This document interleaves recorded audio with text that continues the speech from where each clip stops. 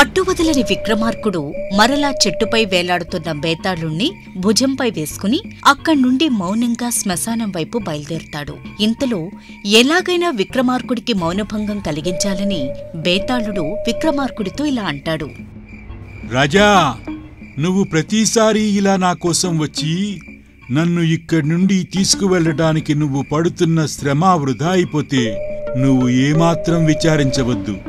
ఎందుకంటే ఇప్పుడు నీకు వింజదేశపు యువరాజు విద్యాధరుడి గురించి ఒక కథ చెబుతాను విను. అసలు ప్రయత్నం ప్రారంభించకముందే ఈ విద్యాధరుడు ఎలా ఓడిపోయాడో తెలుసుకో. ఇక శ్రమ లేకుండా శ్రద్ధగా విను. వింజదేశపు రాజు వీరభద్రుడికి ఇద్దరు భార్యలుండేవారు. మొదటి భార్య విమలాదేవికి చాలా కాలం పాటు సంతానం కలగకపోవటంతో ఇక చివరికి చిన్నరాణి శ్యామలాదేవిని పెళ్ళి చేసుకున్న మహారాజుకు ఎట్టకేలకు ఆమె ద్వారా ఒక పుత్రుడు కలుగుతాడు. అది చూసి చాలా సంతోషంలో మునిగిపోతాడు మహారాజు వీరభద్రుడు. ఒకరోజు మాకు నేడు చాలా సంతోషంగా ఉన్నది రాణి. నీవు ఇంతకాలానికి ఒక మగబిడ్డకు జన్మనిచ్చి మా వంశాన్ని నిలబెట్టావు. ఇక ఇతనికి నేను శశిధరుడు అనే పేరు పెడుతున్నాను. దాంతో చిన్నరాణి ఎంతో సంతోషిస్తుంది. ఇక రాజ్య ప్రజలందరూ ఆ శశిధరుణ్ణే ఆ రాజ్యానికి వారసుడు అనుకుని అతన్ని అందరూ యువరాజు అని పిలవడం మొదలు పెడతారు మరోవైపు కొంతకాలానికి పెద్దరాణి విమలాదేవి కూడా ఒక మగబిడ్డకు జన్మనిస్తుంది. మరింత సంతోషించిన వీరభద్రుడు ఆ బిడ్డకు విద్యాధరుడు అని పేరు పెడతాడు. ఇక కుమారులిద్దరూ పెరుగుతూ ఉంటారు. ఇంతలో ఒకనాడు పెద్దరాణి విమలాదేవి వీరభద్రుడి వద్దకు వచ్చి ఇలా అంటుంది. రాజా మన కుమారుడు విద్యాధరుణ్ణి అంతఃపురంలో అందరూ యువరాజు అని పిలుస్తున్నారు. కాబట్టి త్వరలోనే మీరు అధికారికంగా మన కుమారుణ్ణి మీ తదనంతరం ఈ రాజ్యానికి రాజుగా ప్రకటించాలి. ఎందుకు దేవి అంత ఆరాటపడుతున్నావు? నాకు ఇద్దరు కుమారులు సమానమే. అయినా ఇవన్నీ ఇప్పుడు మాట్లాడుకోవాల్సిన సంగతులు కావు. వారు పెరిగి పెద్దవారైన తరువాత వారిలో ఎవరు సమర్థులైతే వారు ఈ రాజ్యానికి రాజుగా అర్హత సాధిస్తారు. దీని గురించి నువ్వేమీ దిగులు చెందకు. అని పెద్దరాణికి సర్ది చెప్పి పంపించేస్తాడు వీరభద్రుడు. అయితే విద్యాధరుడు పట్టపురాణి కొడుకు. అందుచేత తండ్రి తదనంతరం ఆ రాజ్యానికి రాజయ్యే హక్కు విద్యాధరుడికి ఉన్నదని పెద్దరాణి అభిప్రాయం. ఇక శశిధరుడు కావటానికి చిన్నరాణి కొడుకైనా వయసులో రాజుగారికి పెద్ద కొడుకు కనుక తండ్రి తదనంతరం సింహాసనం మీద కూర్చునే హక్కు శశిధరుడికి ఉన్నదని చిన్నరాణి అభిప్రాయం. కాని రాజు మాత్రం తన కొడుకులిద్దరినీ సమభావంతోనే చూసేవాడు. అలా కొంతకాలానికి వీరభద్రుడికి జబ్బు చేస్తుంది. ఇక చివరి దశలో తన మంత్రిని పిలిచి ఇలా అంటాడు. మహామంత్రి ఇక నేను చివరి దశలో ఉన్నాను.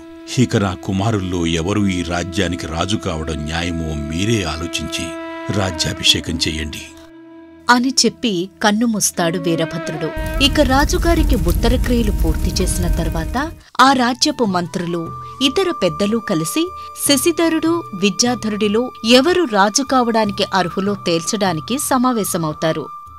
మీ అందరికీ తెలిసిందే మహారాజుగారి ఆకస్మిక మరణం మనకి తీరని లోటని. అయితే ఆయన చివరి కోరిక మేరకు మన ఇద్దరు యువరాజుల్లో ఎవరిని పట్టాభిషిక్తుని చేయాలనే బాధ్యత మన మీదనే పెట్టారు మహారాజు గారు. కాబట్టి మనం ఇప్పుడే సరైన నిర్ణయం తీసుకోవాల్సి ఉంది. హిందులు నిర్ణయించడానికి ఉంది. మన చిన్నరాణి శ్యామలాదేవి గారికే మొట్టమొదట కొడుకు పుట్టాడు. శశిధరుడు పుట్టిన నాడే దేశ ప్రజలు తమకు యువరాజు ఏర్పడ్డాడని భవిష్యత్తులో అతనే తమ రాజ్యానికి రాజవుతాడని అనుకున్నారు. కాబట్టి అతను రాజు కావడమే ఇక్కడ న్యాయం. కానీ రాజ్య సంప్రదాయం ప్రకారం పట్టపురాణి విమలాదేవి పుత్రుడు విద్యాధరుడు కూడా ఆ పదవికి అర్హుడే కదా. కాని విద్యాధరుడు శశిధరుణ్ణి అన్నా అని పిలుస్తాడు కదా. మరి అలాంటప్పుడు అన్న శశిధరుడు ఉండగా తమ్ముడు విద్యాధరుడికి ఎలా పట్టాభిషేకం చేస్తాం? అలా వారంతా ఎవరిని రాజును చెయ్యాలా అని వాదించుకుంటూ ఉంటారు. కానీ ఏ నిర్ణయం తీసుకోలేకపోతారు. పోనీ ఇద్దరు రాణులు రాజీపడి ఒక నిర్ణయానికి వస్తారేమో అనుకుంటే తన కొడుకే రాజు కావాలంటే తన కొడుకే రాజు కావాలని ఇద్దరు రాణులు మంచి పట్టుదలతో ఉంటారు. ఇక సుదీర్ఘ చర్చోపచర్చల అనంతరం వారు ఒక నిర్ణయానికి వస్తారు. ఈ పరిస్థితుల్లో మనం ఏ ఒక్కరికి న్యాయం చేసినా మరొకరికి అన్యాయం జరిగినట్టు అవుతుంది. అందుకని ఈ రాజ్యాన్ని రెండుగా చీల్చి రెండు భాగాలకు ఇద్దరు రాజకుమారులను రాజులుగా నియమిస్తే ఇద్దరికీ న్యాయం జరిగినట్టు అవుతుందని నా అభిప్రాయం. మీరేమంటారు? మీరు చెప్పిన ఉపాయం బాగానే ఉంది. ఒక్కసారి ఈ ఇద్దరు రాజకుమారులకు ఈ సంగతి చెప్పి వారు ఒప్పుకుంటే మీ నిర్ణయాన్ని అమలు చేద్దాం. అని వారు నిశ్చయించుకుని ఇద్దరు రాజకుమారులకు ఆ సంగతి చెబుతారు. ఇక ఇది విన్న శశిధరుడు తన తమ్ముడు ఉన్నప్పుడే వారితో ఇలా అంటాడు. చూడండి ఒక బలమైన రాజ్యాన్ని రెండు బలహీనమైన రాజ్యాలుగా చేల్చడం రాజనీతి కాదు. అందువల్ల దేశం యొక్క ఐక్యత దెబ్బతింటుంది. శత్రుభయం యుద్ధాలు మొదలైనవి ఏర్పడతాయి. అందుకనే నేను దీనికి అంగీకరించలేను. మీరు తమ్ముడు విద్యాధరుడికి ఈ పదవిని ఇవ్వండి. నాకా పదవి వద్దు. అలాగే యువరాజా మీరే స్వచ్ఛందంగా ఈ రాజ్యాన్ని వదులుకుంటున్నారు కాబట్టి మీ కోరిక మేరకు మీ తమ్ముడు విద్యాధరుడికే ఈ రాజ్యాన్ని అప్పగిస్తాం. అలా రాజ్యాన్ని విభజించడానికి ఇష్టపడని శశిధరుడు ఒకపక్క విద్యాధరుడికి పట్టాభిషేక మహోత్సవం జరుగుతూ ఉండగానే ఆ రాజ్యాన్ని విడిచి వెళ్ళిపోతాడు. ఇక శశిధరుడికి తన శౌర్య ప్రతాపాల మీద విశ్వాసం ఎక్కువ.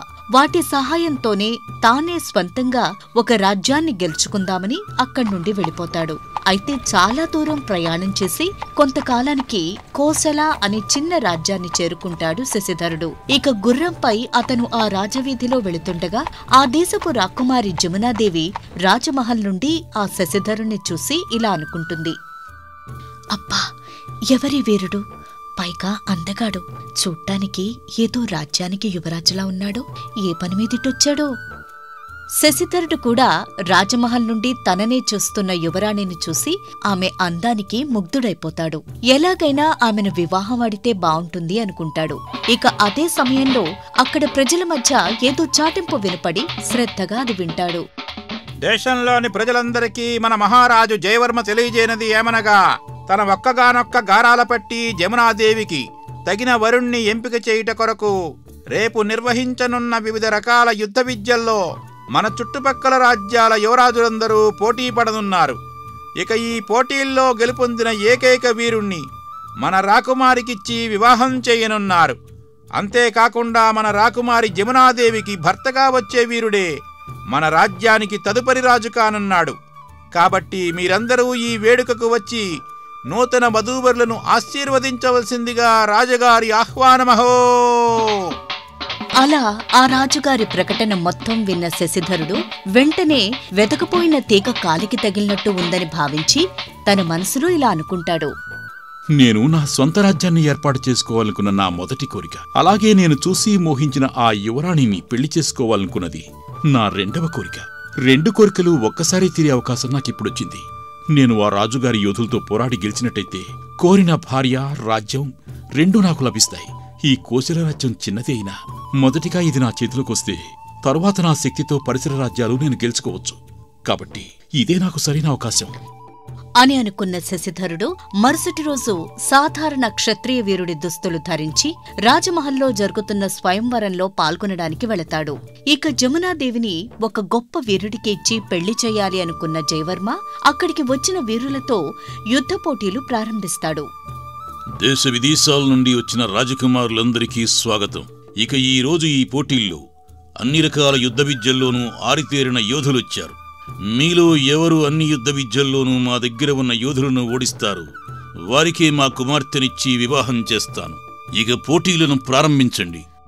అలా జయవర్మ అక్కడికి వచ్చిన రాజకుమారులందరికీ ముందుగా యుద్ధ విద్యలలో పోటీలు ప్రారంభిస్తాడు. అయితే సాధారణంగా కనపడుతున్న శశిధరుణ్ణి చూసి జయవర్మ ఇలా అంటాడు. యువకుడా ఎవరు నువ్వు? చూడటానికి సాధారణ పౌరుల్లా కనపడుతున్నావు. మీది ఏ రాజ్యం? మహారాజా నేనొక సాధారణ క్షత్రియ కుమారుణ్ణి. మాకు ఎటువంటి రాజ్యం లేదు.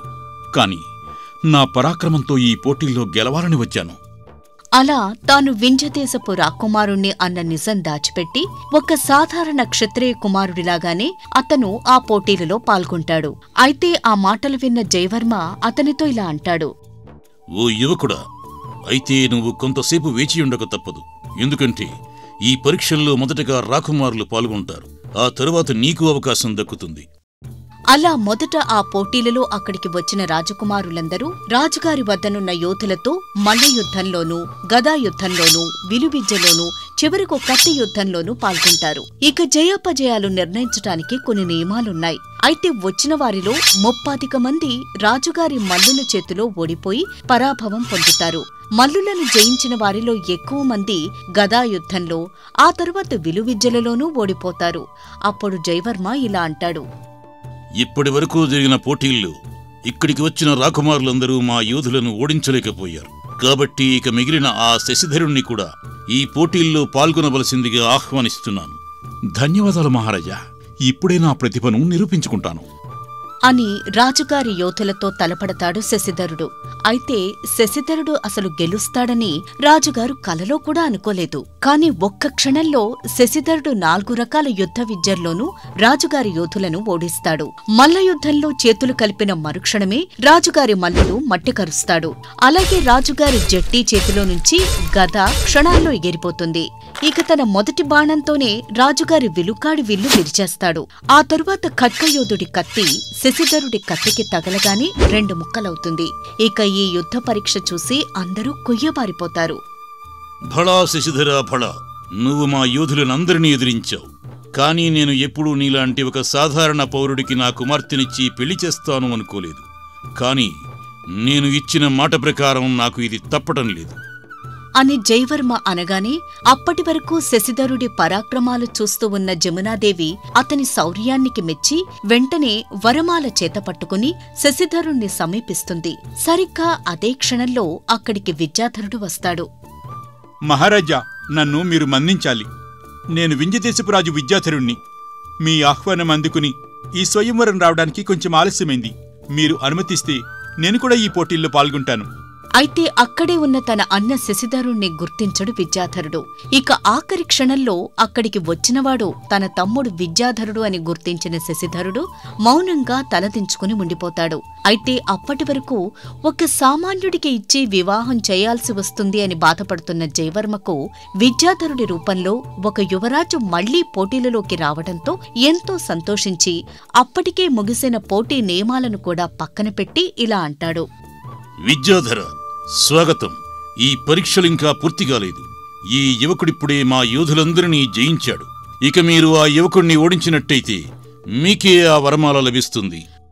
అని అంటాడు జయవర్మ. ఇక ఆ మాటలతో విద్యాధరుడు తన వర నుండి కత్తిదూసి శశిధరుణ్ణి సమీపిస్తాడు. అయితే అతను తలదించుకుని ఉన్న శశిధరుణ్ణి గుర్తించడు. కాని శశిధరుడు మాత్రం తన తమ్ముణ్ణి గుర్తించి తల వంచుకుని తన చేతిలో ఉన్న కత్తి జారవిడిస్తాడు. ఇంతలో అది గమనించిన జమునాదేవి వెంటనే తన చేతిలోని వరమాలను శశిధరుడి మెడలో వేసి అతను కింద జార్చిన కత్తి తీసుకుని అక్కడికి వస్తున్న ఆ విద్యాధరుణ్ణి అడ్డుకుని ఇలా అంటుంది. ఆగు వీరుడా ఆగు. ఇప్పటి వరకు ఈయన ఇక్కడ ఉన్న యోధులందరితోనూ పోరాడి అలసిపోయారు. ఇక నీకు చేతనైతే ఆ చేసే యుద్ధమేదో నాతో చెయ్యి ఊహించని ఆ హఠాత్ పరిణామానికి అక్కడున్న వారందరూ ఆశ్చర్యపోతారు. ఇక విద్యాధరుడు కూడా నిర్ఘాంతపోయి తల ఎత్తి జమునాదేవిని తన పక్కనే ఉన్న శశిధరుణ్ణి చూస్తాడు. అయితే ఈసారి విద్యాధరుడు తన కోసం రాజ్యం వదిలేసి వచ్చిన తన అన్న శశిధరుణ్ణి బాగా గుర్తిస్తాడు. ఇక అతను తన కత్తిని తిరిగి వరలో పెట్టుకుని మారు మాట్లాడకుండా అక్కడి నుండి తిరిగి వెళ్ళిపోతాడు. అది చూసి జయవర్మ ఇలా అంటాడు. ఏంటమ్మా ఇలా చేసావు ఎందుకు ఆ వింధ్యరాజుని అవమానించావు తండ్రిగారు ఈ పరీక్షలు వీరుల మధ్య గాని రాకుమారుల మధ్య కాదు కదా? మరి అన్ని పరీక్షల్లో గెలిచిన ఈ శశిధరుడి పట్ల మీరు చేసినదేమిటి? పరీక్షలు ముగిసిన తర్వాత కూడా ఆ విద్యాధరుణ్ణి పోటీలకు అనుమతించటం భావ్యం కాదు కదా? నన్ను క్షమించు తల్లి ఇది స్వయంవరం. నీకు ఎవరు ఇష్టమైతే వారితోనే నీ వివాహం. అలా జమునాదేవి వరమాలను శశిధరుడి మెడలో వేసింది కనుక వారిద్దరికీ వివాహం చేయక తప్పలేదు. ఇక ఆ తరువాత తన కల్లుడైన శశిధరుడు సాక్షాత్తు వింజదేశపు యువరాజు అని తెలిసాక జయవర్మ దుఃఖమంతా పోతుంది. ఇక మరోవైపు విద్యాధరుడు తన రాజధానికి తిరిగి వెళ్ళి మంత్రి మొదలైన వారితో ఇలా అంటాడు. నేను మీకు ఒక ముఖ్యమైన విషయం చెప్తాను వినండి. నాకు ఇక నుండి ఈ రాజ్యం వద్దు. మా అన్న శశిధరుడు కోసల దేశంలో ఉన్నాడు. అతనికే ఈ రాజ్యం కూడా అప్పచెప్పండి. ఇక నేను వస్తాను. అని వారు ఏమి అడిగినా బదులు చెప్పకుండా విద్యాధరుడు ఆ సింహాసనాన్ని వదిలి వెళ్ళిపోతాడు ఈ విధంగా శశిధరుడు వింజదేశానికి కోసల దేశానికి కూడా రాజవుతాడు. ఇక ఆ తరువాత విద్యాధరుడి జాడ ఎవ్వరికీ తెలియరాలేదు.